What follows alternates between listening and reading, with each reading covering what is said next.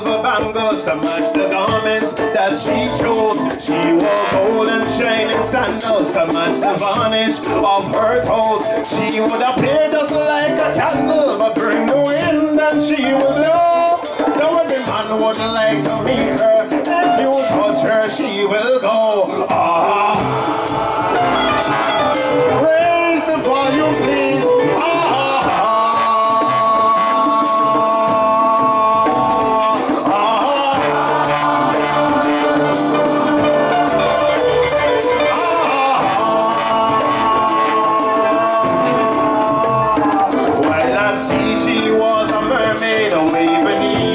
Tidal flow. And when they came aboard this vessel, she had feet with polished toes. She had an old chain around her ankle with tiny trinkets that she showed. So every man would like to meet her.